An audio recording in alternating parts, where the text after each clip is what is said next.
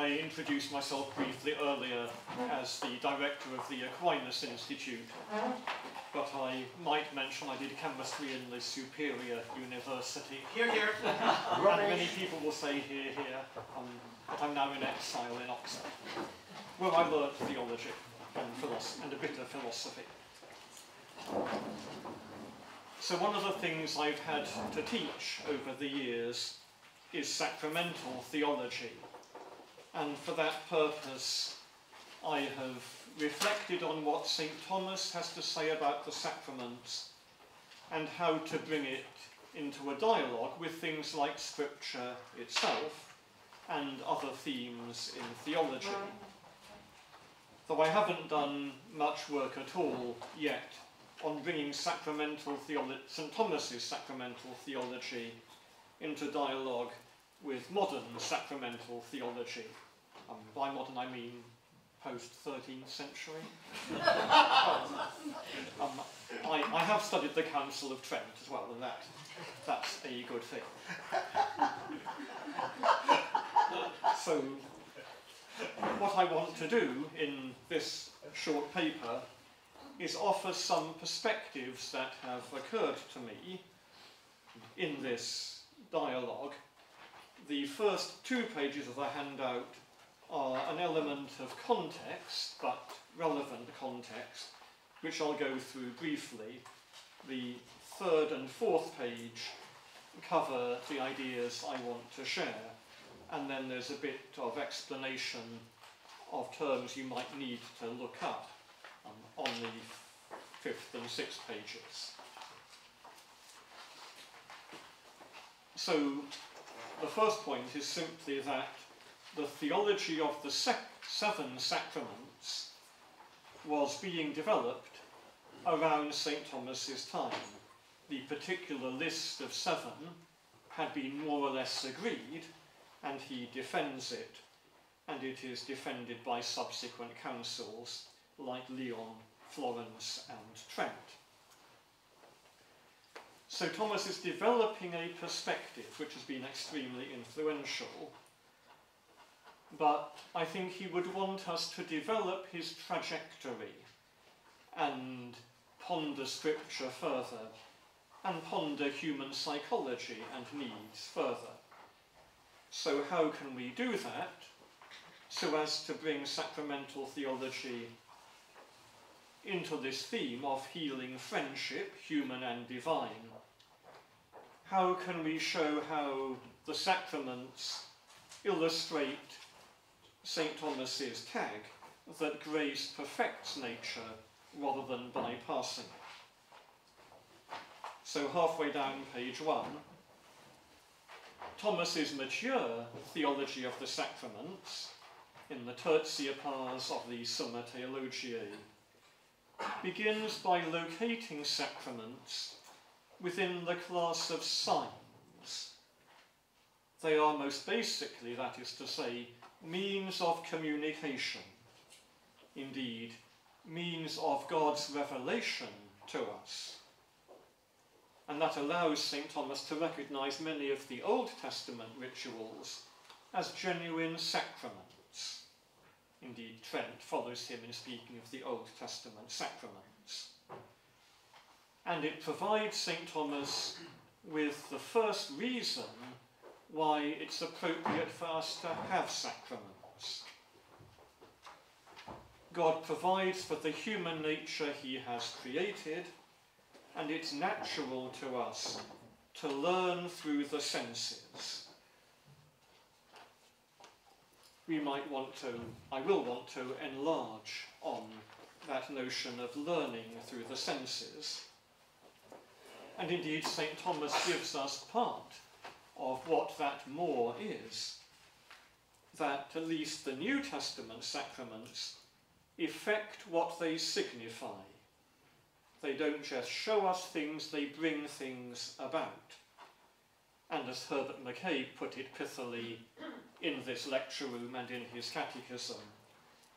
In the sacraments, God shows us what he does and does what he shows us.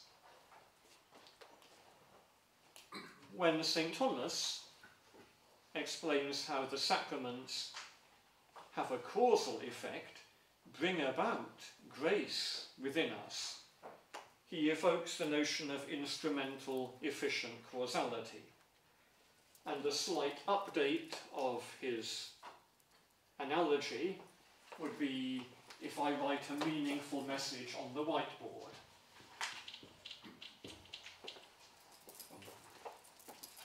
Only human beings can write meaningful messages, but to do so, I use my hand, which is part of me, to grasp the marker, which is not part of me, to bring the writing where it is needed.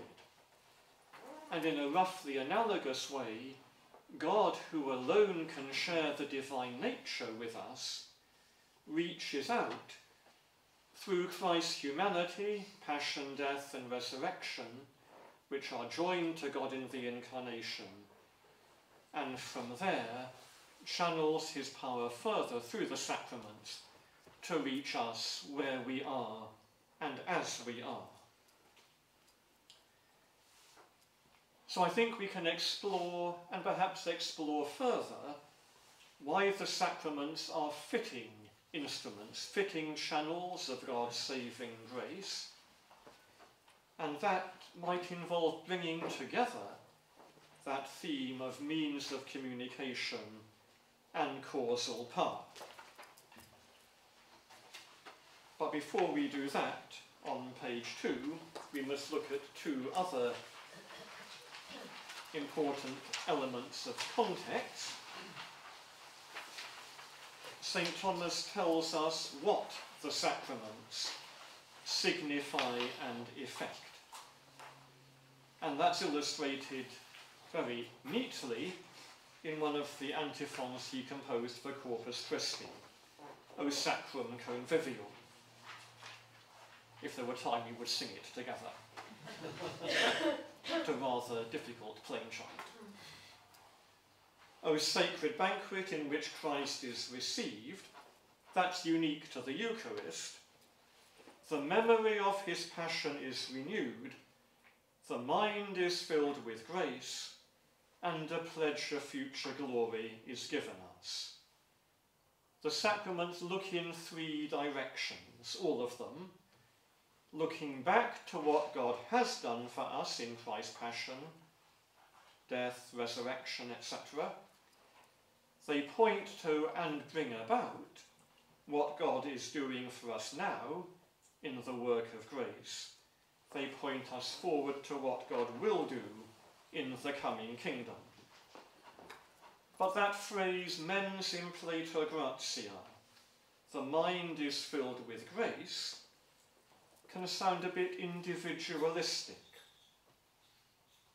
And indeed, the Council of Florence, in its summary of the Catholic theology of the sacraments, said that the first five of the sacraments in its list are ordained to the interior spiritual perfection of the person.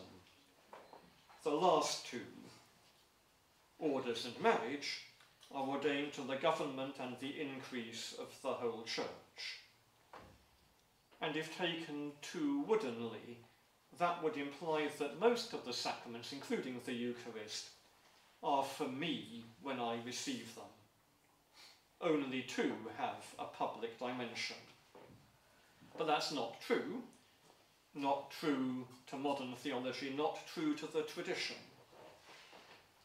So in the three orationes he composed for the Mass of Corpus Christi, St. Thomas again points back to the memorial of the Passion, and in the post communion prayer forward to the perpetual enjoyment of the divinity, but in the prayer over the gifts, the Oratio Secreta,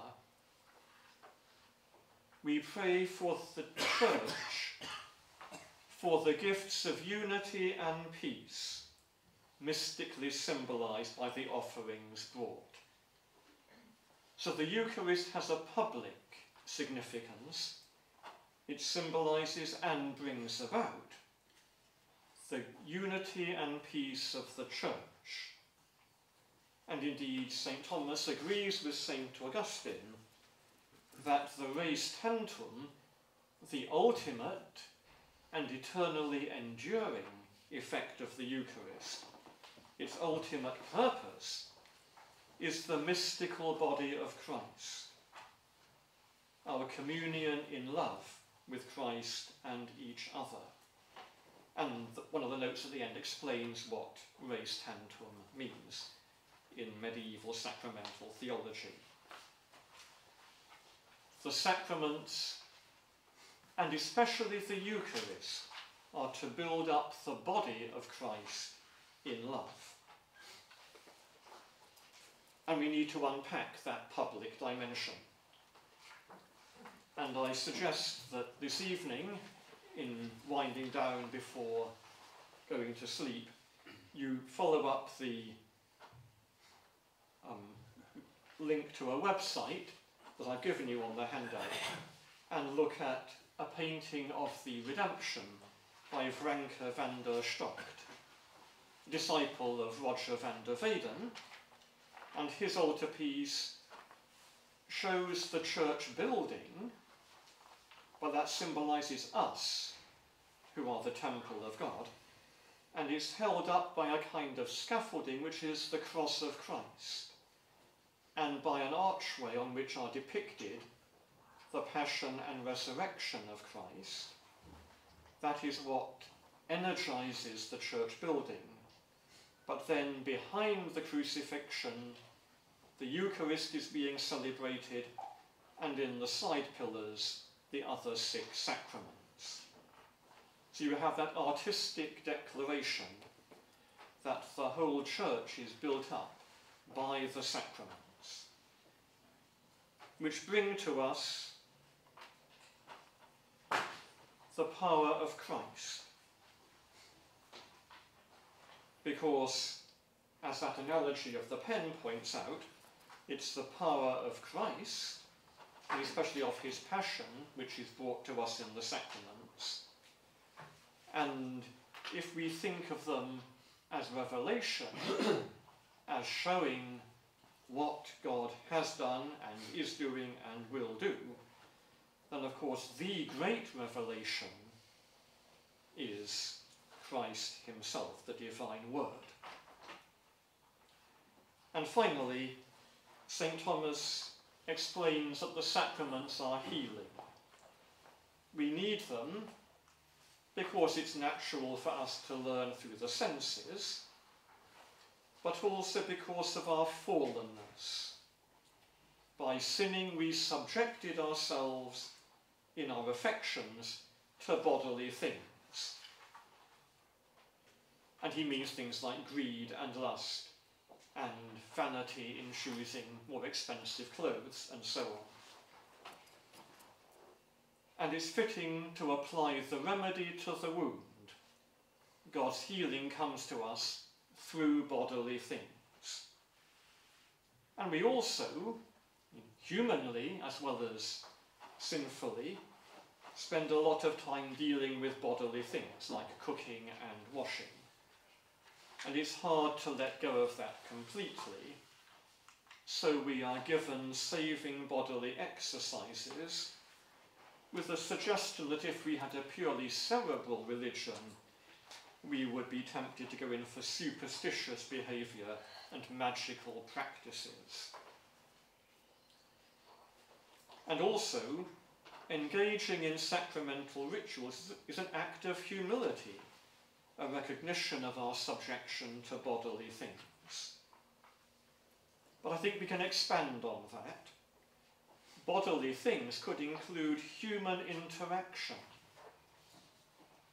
Human interaction is bodily, and that's very much involved in the sacraments. That's where a great deal of healing is needed and healing can be ministered. So that's one of my main themes.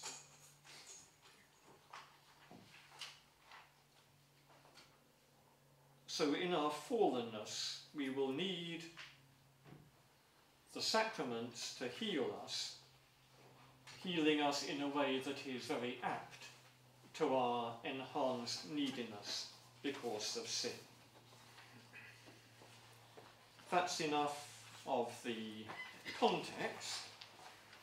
So on pages 3 and 4, I have my reflections on the sacrament as effective and healing means of communication.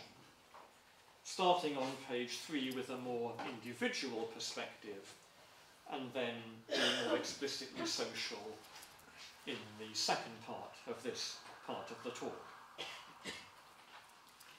So, developing St. Thomas in a very natural way, human beings by nature communicate by means of words, as I am doing, but also by gestures.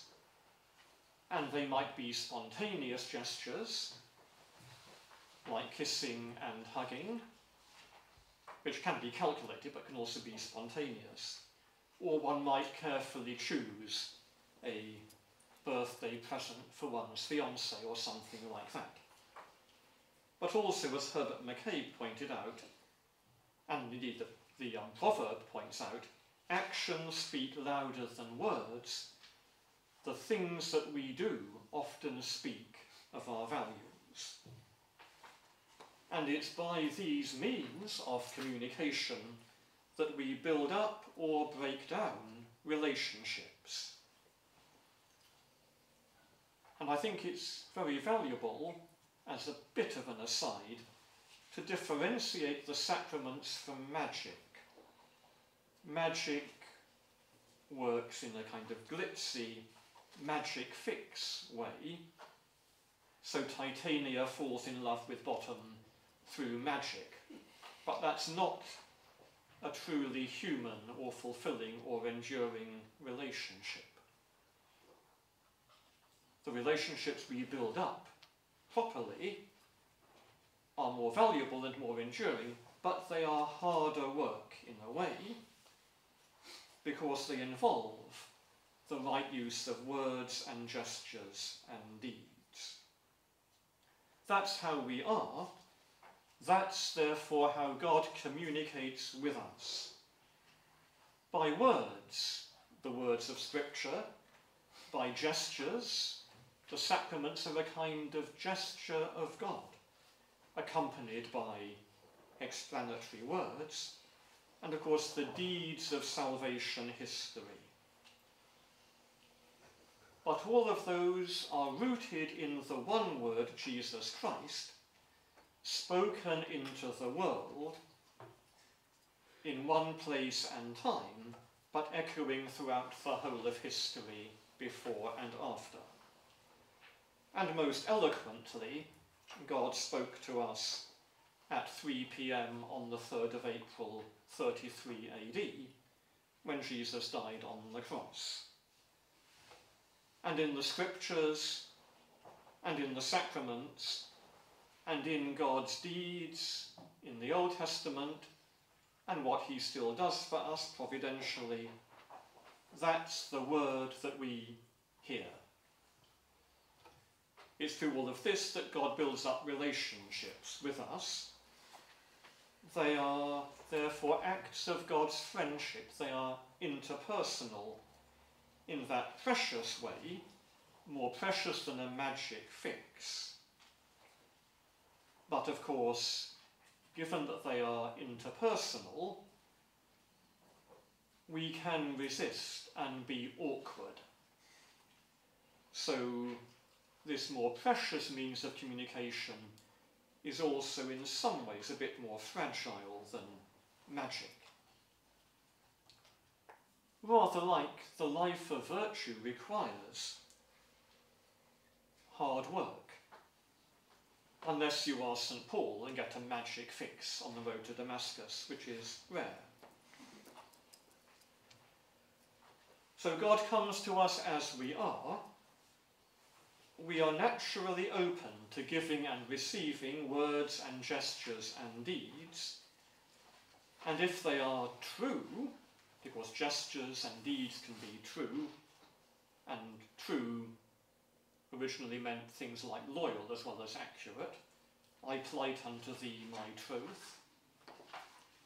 So if they are true, they delight us, and if they are false, we are vulnerable to false words and deeds and gestures, and that vulnerability is sharpened by the fall.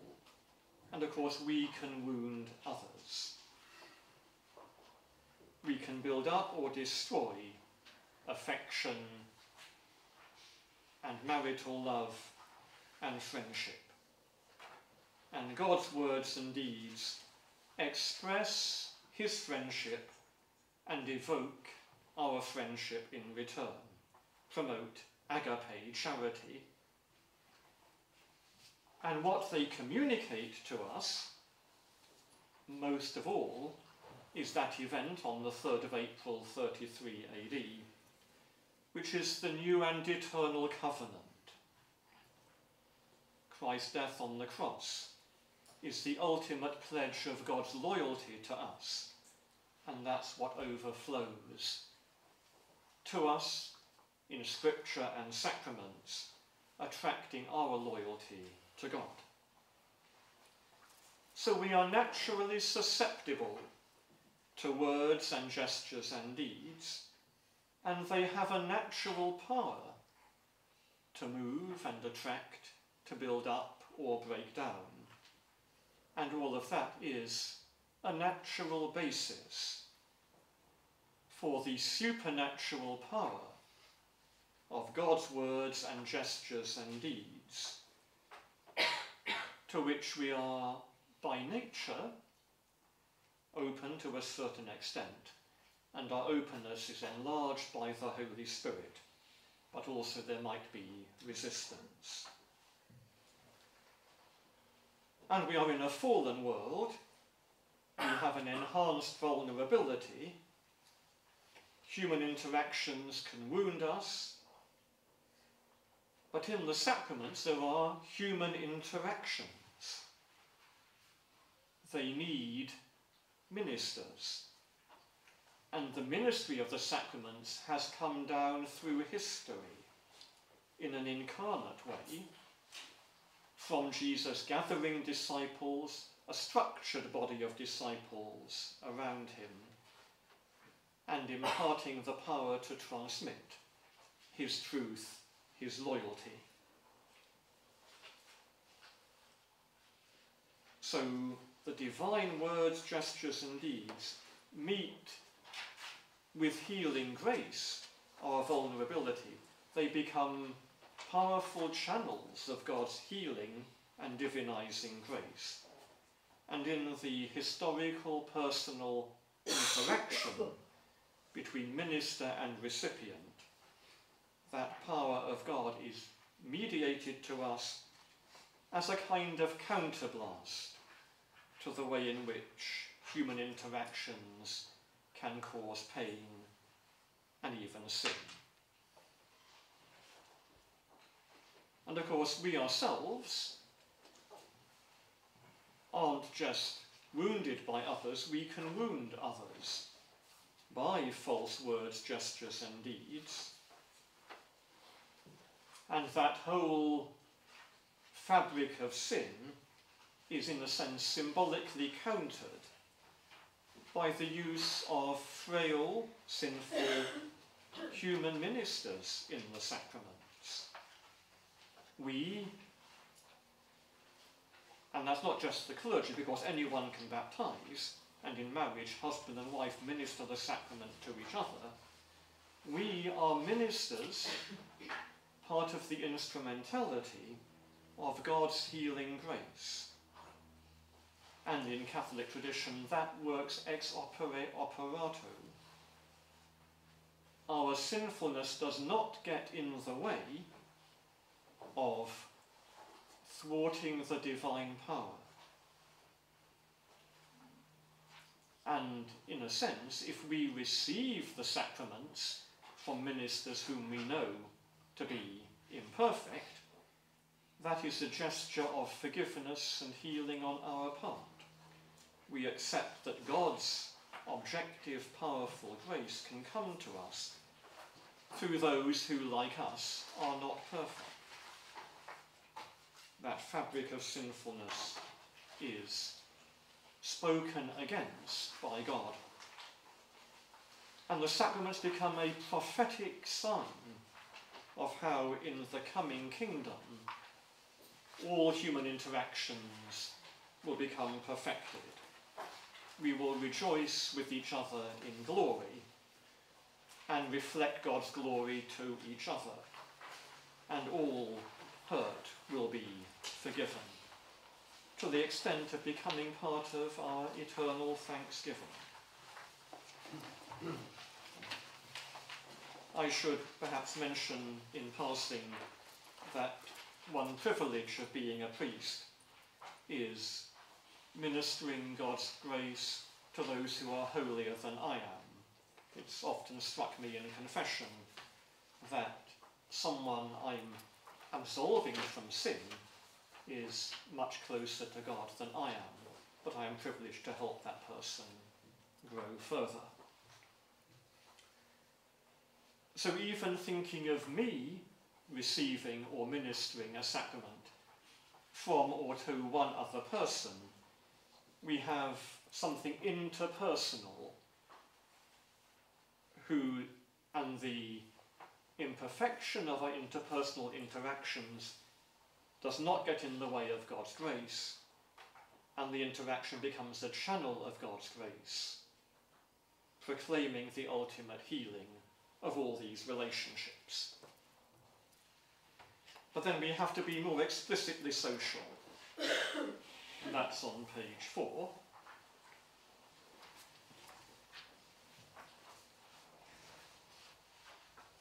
In any society, you have a language, or in many societies, a whole range of languages, and we have social rituals, like the festa of an Italian village, or the state opening of Parliament, or the Queen imparting a knighthood, and so on.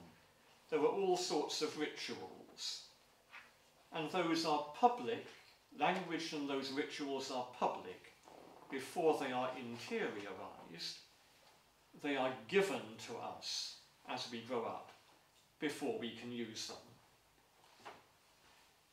And we need, and we are naturally open to, all the language and institutions and rituals of society, which, if they are true, empower and educate and humanize us and if they are false, we are vulnerable to them and they can wound us and blind us in various ways. Perhaps more in the USA than in England, and in many ancient Greek cities, the founder or the founding fathers are part of our identity. And they give us not necessarily a language, but often institutions which might involve rituals. So the founder is important. And these rituals might be a bit opaque. It's not obvious to a foreigner that when the queen whacks someone on the shoulder with a sword, he becomes a knight of the realm. We have to be enculturated.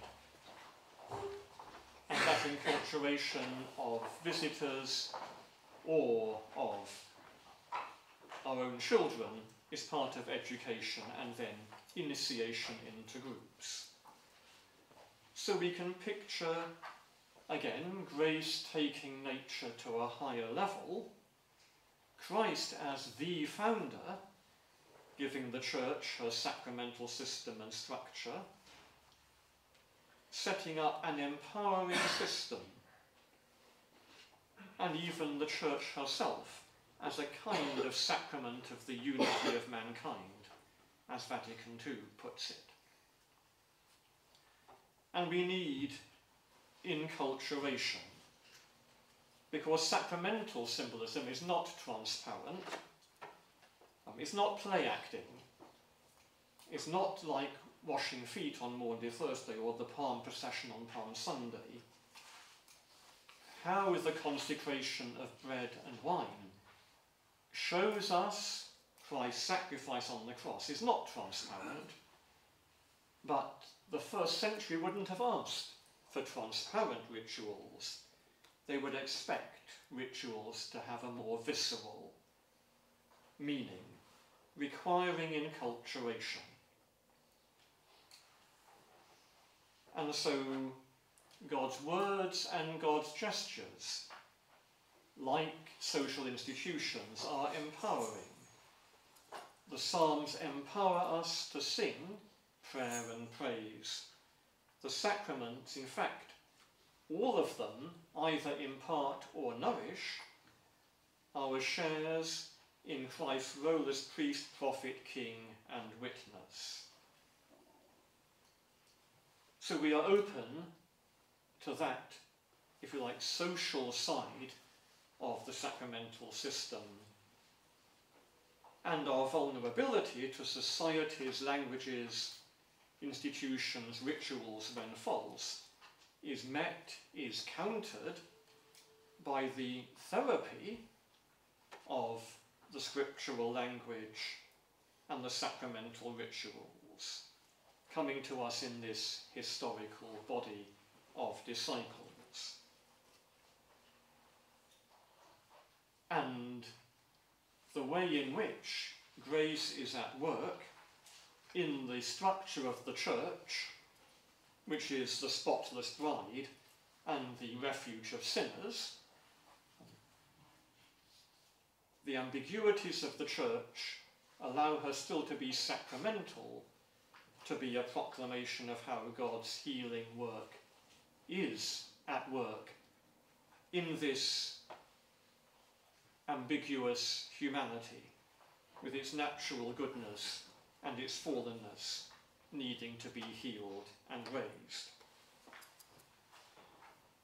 So to sum up, rather than go any further and give more examples, we are naturally open to words and gestures, to human interaction, including social structures and rituals, for good and for ill.